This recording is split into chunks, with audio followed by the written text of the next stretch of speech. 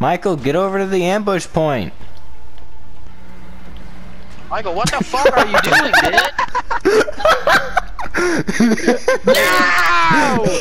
Thank you guys. Thank you for actually taking me there. Now let me get in the.